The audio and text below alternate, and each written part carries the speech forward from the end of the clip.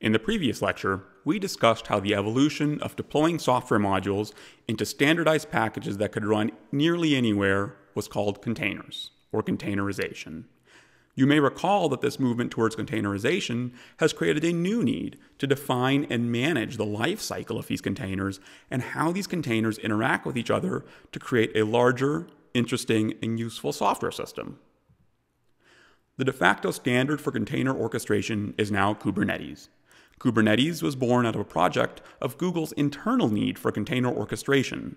It was first announced in 2014 and has grown into a mature product, currently at version 1.8, with support and growth in the enterprise and most major cloud providers. Kubernetes, as a product, is governed in standards and deployment and development by a public process led by the Cloud Native Computing Foundation, also known as the CNCF.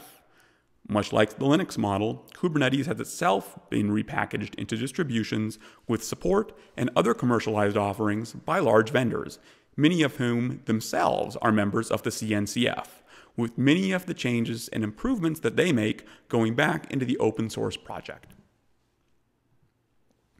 Kubernetes enjoys a major lead in technology maturity and adoption for a variety of reasons. First, Kubernetes and its predecessor, Google Borg, go back to the very beginning of container orchestration. It simply has a head start on solving a very complicated problem. But that's not enough to sow a large advantage, of course. That dovetails with the second. Kubernetes and the people around it, especially its founders, have taken this organizational knowledge and preserved and grown it through the CNCF and a public stewardship process that allows Kubernetes to grow unlike proprietary technologies. Kubernetes has been free to be bigger than any one vendor's market share and has gained the trust and commitments of its users and the open source community at large, in large part by avoiding vendor lock in, but allowing access to the kind of support and assured quality large vendors can offer through their own distributions. That is not to say that Kubernetes was or is without its competitors. Docker, the company that created Docker containers themselves that Kubernetes uses by default, has its own orchestration offering, for example. However, as it relates to Docker Swarm or even Apache Mesos, another mature orchestration project, Kubernetes has several distinct advantages at the moment. First, its lineage has given it quite a lead time in both time and pedigree. It never hurts to be born at Google, solving problems at Google scale. Second, it's not just achieved critical mass, it's actually grown to sustainability. And the CNCF organization provides some permanence to this, especially as every major cloud vendor and many major software vendors have joined the organization. As for the code, just look at the commits, follows, and stars of the various Kubernetes projects. They speak for themselves.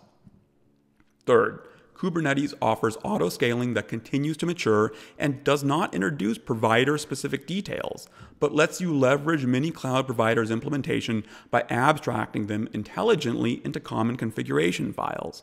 This makes for an ease of deployment across hybrid clouds or public clouds or any type of deployment infrastructure. Kubernetes is a technology and software package you can run on your own, on your laptop, your own server hardware, your data centers, cloud providers, or a combination of them all if you'd like. In the next lecture, we'll discuss where to get started, how you can set up Kubernetes on each, no matter where or what path you plan to choose or need in your particular application.